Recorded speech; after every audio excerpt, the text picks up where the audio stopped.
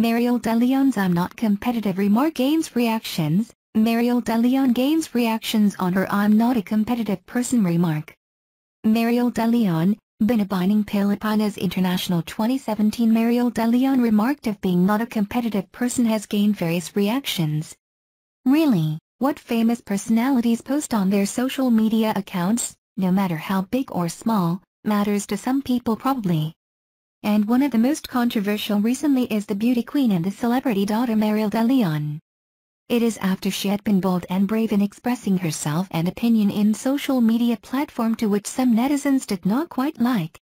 And lately, she had been reportedly involved in an online feud between Davao City Mayor Inday Sara Duterte Carpio.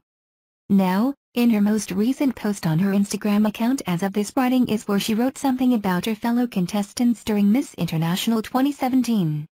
The written caption would spark various reactions from the people of the social media community indicated. I'm not a competitive person at all. So I don't get why there are girls that take it way too seriously. Some can be rude and inconsiderate to others. I'm thankful that this batch of girls are all very kind and sweet. There were no fights or feelings between any of the girls. Pageants are not mainly about winning. It's about the relationships we make with girls from around the world. It's about sharing each other's stories and cultures. It's about helping each other and showing the world great examples of strong and empowered women from each country. It's about showing unity with one another and sharing love and respect between different people from different walks of life. All women are Wonder Women. Except me because I love Catwoman haha. Love to all you strong and genuine pageant women out there. What can you say about it?